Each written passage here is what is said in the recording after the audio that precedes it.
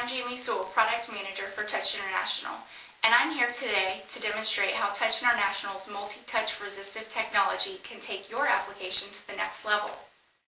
The multi-touch analog resistive sensor technology, we call MARS for short, offers up to 10-finger touch with true touch gesture, which means no ghost. And it works with gloved finger, bare finger, and any pointing device.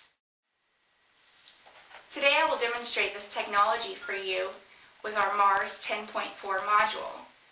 This Windows 7 compatible module is equipped with several programs to allow users to evaluate its capabilities. The first example I would like to show you is palm rejection, which is excellent for signature capture.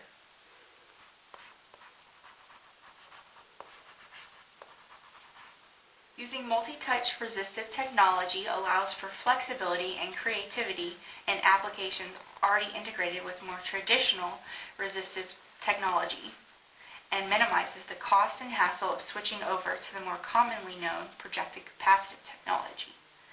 This technology can be used as a virtual keyboard or as a touchscreen piano.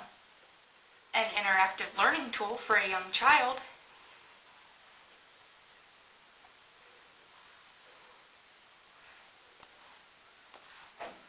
or an ATM at your local bank.